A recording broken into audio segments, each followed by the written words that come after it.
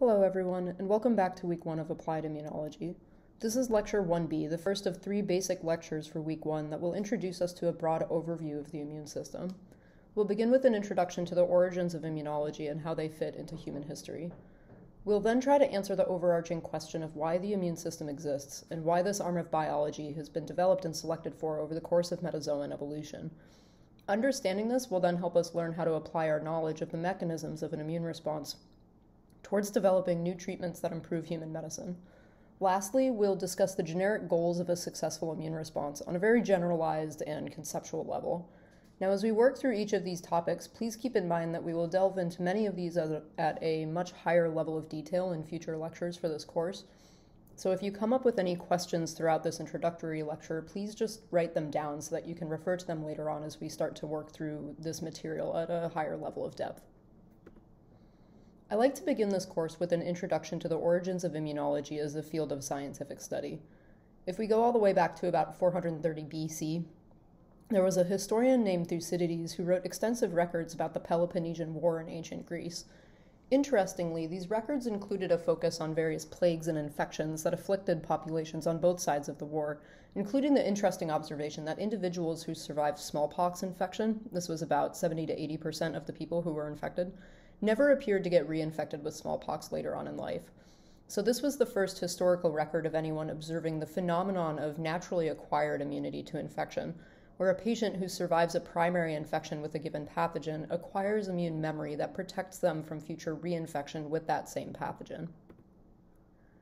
Moving forward to 900 AD, we start seeing records of Chinese physicians practicing a medical procedure called variolation, in this procedure, patients would inhale a powder made of ground up smallpox scabs, and this would result in a very mild form of disease, where maybe about 2% of patients would still get full blown small, smallpox infection and potentially die. But the patients who survived would be protected from future smallpox infection. This was the first form of vaccination, although the mechanisms underlying protection were still unknown.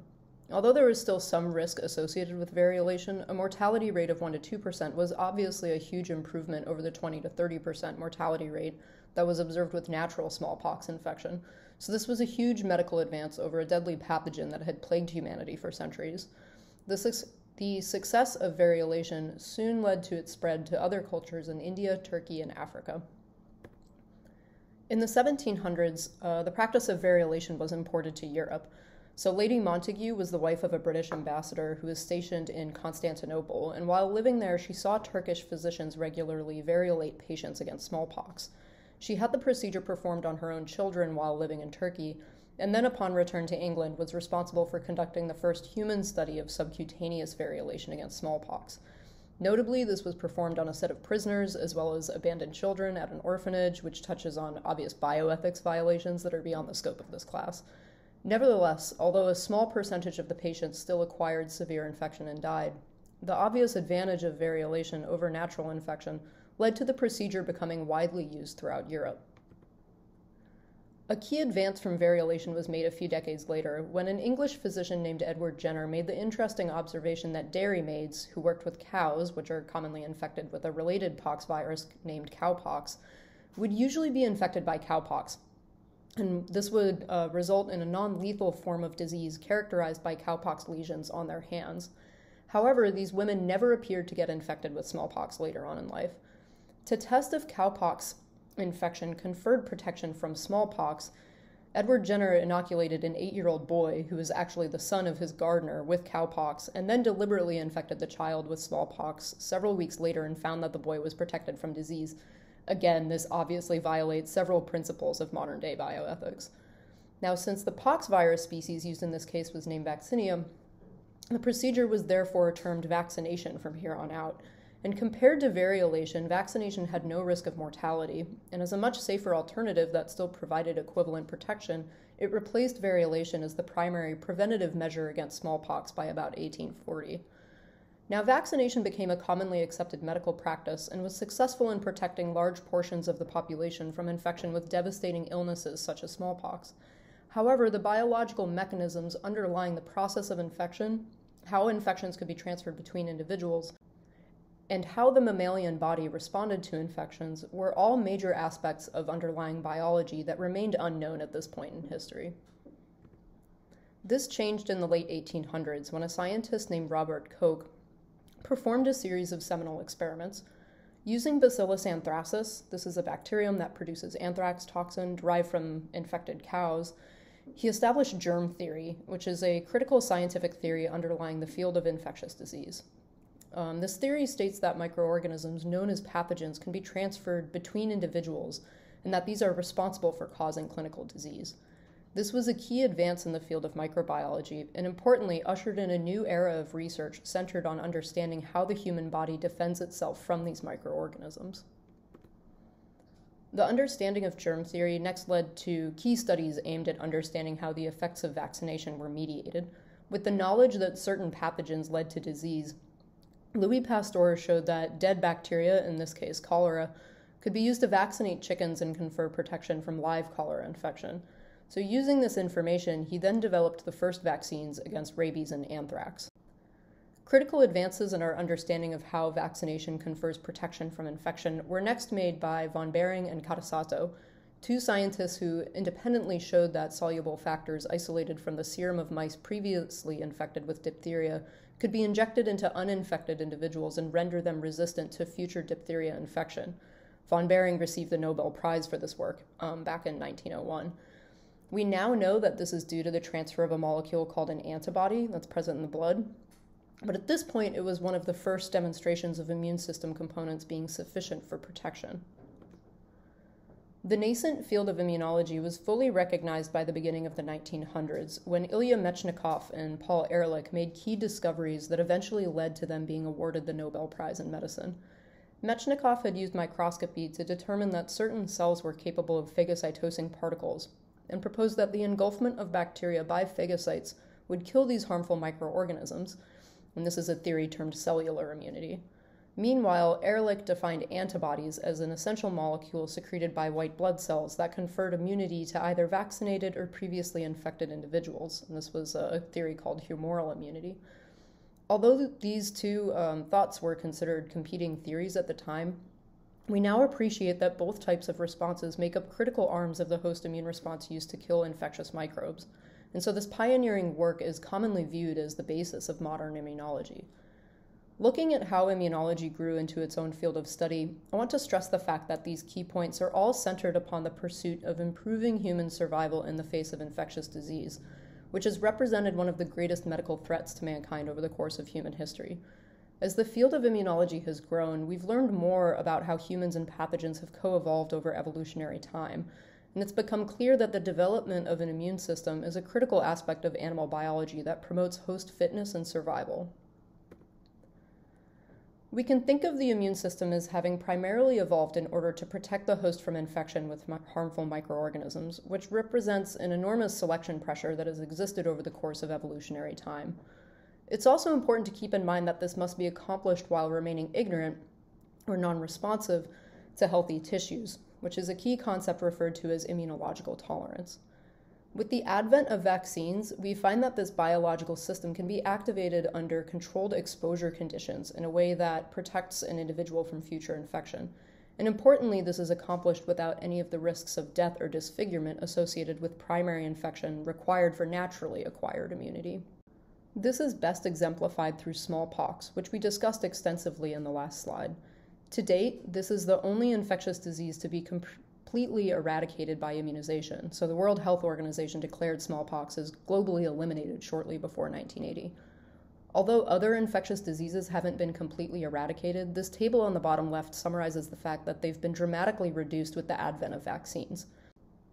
Here we can see a variety of infectious diseases that often infected children and contributed to high rates of early childhood mortality and disablement through most of human history, which have been drastically reduced in the current era of modern medicine.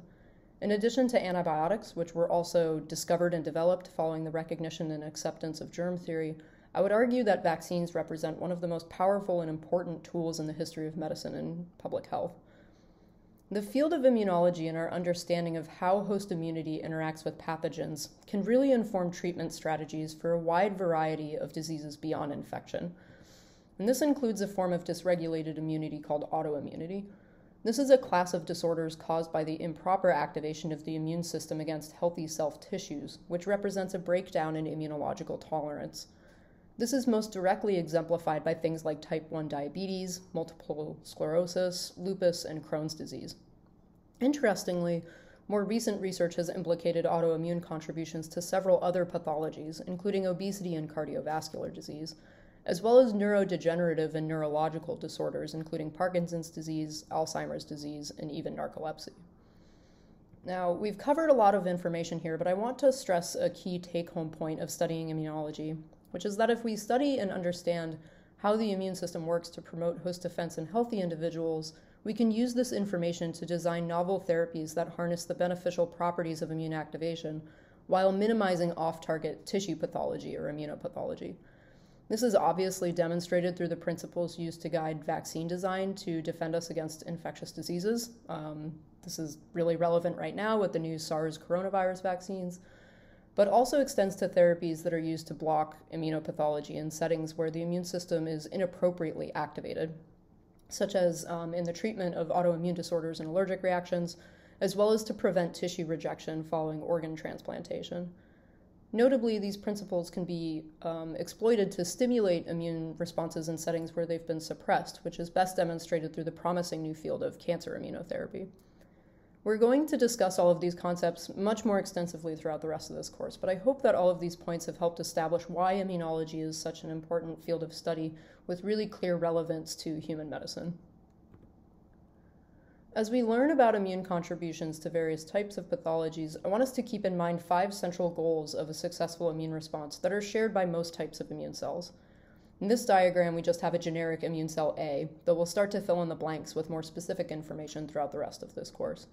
For now, let's just consider the fact that this immune cell A needs to be able to respond to an entire universe's worth of potentially harmful microorganisms, which include things like viruses as well as bacteria and parasites. So, how does the cell accomplish these goals?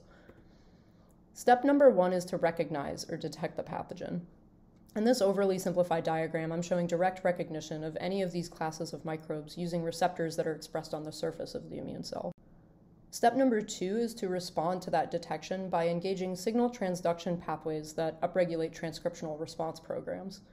This is typically accomplished through the activation of a transcription factor in the cell cytosol, which allows for its translocation into the nucleus, where it then induces expression of target genes, which are then translated into effector molecules. This process is viewed as conferring an activated status upon the immune cell. So, throughout this course, I'll often refer to the quality of an immune cell as becoming activated in response to certain stimuli. I should also note that some immune activation pathways lead to the um, direct activation of pre existing protein effectors that are already expressed in the cell, but in both cases, the end result is the presence of effector molecules produced by an activated immune cell. Step number three is to deploy the effector mechanisms that have been engaged by activated immune cells in order to contribute to the killing of target pathogens. This can occur in one of two ways either by the direct cytotoxic targeting of a microbe or through indirect communication with other immune cells that then in turn are sequentially responsible for killing the microbe. Now, once the pathogen is successfully eliminated by effector mechanisms that are engaged by the activated cell in step number three, step number four is to resolve inflammation and help return both the cell and the surrounding tissue to a healthy homeostatic baseline. And this is really important because a lot of inflammatory mechanisms that are employed by immune cells can cause off target pathologies called immunopathologies, where you damage neighboring healthy tissue even though it isn't involved in the infection. So, the resolution of inflammation is a critical step in a successful immune response. And this is accomplished by a variety of negative feedback mechanisms that are engaged by activated immune cells. Lastly, certain subsets of immune cells are capable of forming immune memory that can be used to protect the host from future episodes of infection with that same pathogen. So, these types of immune cells actually go down differentiation pathways upon activation that will let them form a stable, long lived pool of cells that specifically recognize the pathogen that initiated an immune response in the first place. And these can be maintained over the course of an individual's lifetime. This is the basis of immunological memory, which underlies how things like vaccines work, and is an extremely important component of the immune system in vertebrate animals. To summarize some key points from today, I want you to focus on this overall concept that the immune system has evolved to defend the host from infection, and that these activities need to be balanced by mechanisms that preserve healthy tissue. Again, this is the concept of immunological t- self tolerance. We can accomplish this through a series of generalized goals of the immune response that are shared by most types of immune cells, involving detection, activation, the deployment of effector mechanisms, the resolution of inflammation, and um, with certain cell subsets, the formation of immunological memory. Next, I hope that this lecture has established why the study of these immunological processes can inform the design of therapies aimed at treating a vast variety of diseases, including vaccines used to prevent infections, pathologies where the immune system is aberrantly activated, such as autoimmunity, allergy, and transplantation rejection, and settings where the immune system needs to be reactivated, such as in tumor immunology. This wraps up our first lecture in this course, so please remember to watch the remaining two introductory lectures for week one, which cover categories of immune responses as well as immune organs, which we refer to as lymphoid organs.